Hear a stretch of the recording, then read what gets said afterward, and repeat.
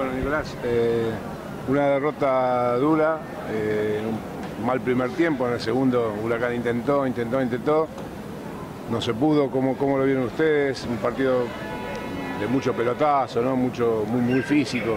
Sí, sabíamos que iba a ser un partido muy, muy difícil. Eh, ellos hacen fuertes acá, se encontraron con un gol producto de un error nuestro, que creo que eso a ellos les facilitó, porque ya nos obligó a nosotros a salir a buscar el partido y a ellos a estar cómodos a esperarlo. Por eso nuestro primer tiempo quizás no fue bueno, porque ellos estaban muy metidos atrás, no, no encontramos los espacios. Al avanzar con la pelota, el campo de juego nos ayudó, la verdad. Eh, no encontramos los espacios y en el segundo tiempo a raíz de, de pelotazos, pelotas aéreas, tenemos muy buenos cabezadores como Coniglio, como Barrios, cuando entró Cordero. Pudimos más que nada acercarnos al área rival sin generar tanto peligro, pero bueno, tuvimos una o dos claras. Que, bueno, creo que ese es el análisis del partido, que si, no hubiésemos cometido nuestro error, eh, hubiese sido otro, otra desesperación de ellos, seguramente tener que haber salido a buscar el partido, hubiese habido más espacios para que podamos jugar y mostrar nuestro juego. Eh, ¿El cambio terminaste de sentido? Además de que un cambio ofensivo porque entró Vieira por vos, no, entró un defensor, digo, pero ¿terminaste sentido? Porque teníamos esa duda si te fuiste con alguna molestia. No, no, no la verdad que es el segundo partido que, juego después de mucho tiempo y era un, cambio táctico, como, dijeron. Y bueno, y cuando me, dijo si te, estaba para salir, dije, sí, si vamos a entrar en delantero, por el bien del equipo, si te toca estar afuera, que estar afuera.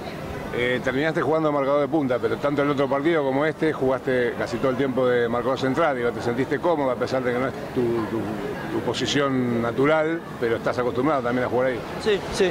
Eh, hace mucho tiempo que no jugaba, pero bueno, ya con, Juan Bocoda eh, ya me venía probando ahí.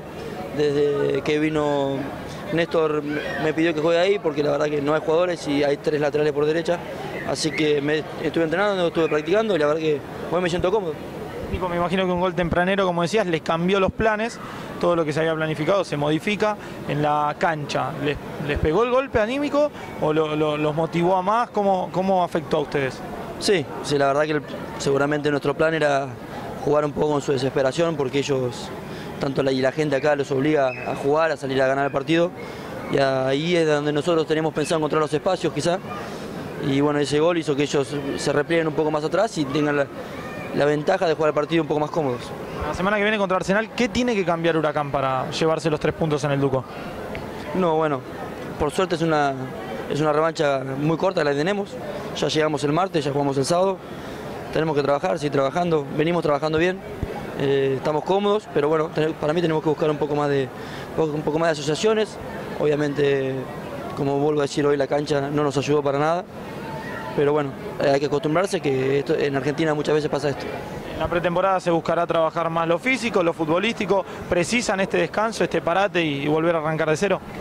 Sí, sí, precisamos este, este aclarado de mente, seguro y aclarado de cosas, saber quién va a venir, quién no va a venir, eh, quién va a seguir o quién no va a seguir, la verdad. Ponernos bien a punto físicamente, es una pretemporada muy corta, así que tanto yo creo que lo físico y lo, y lo técnico va a ir de la mano. Gracias, Nico.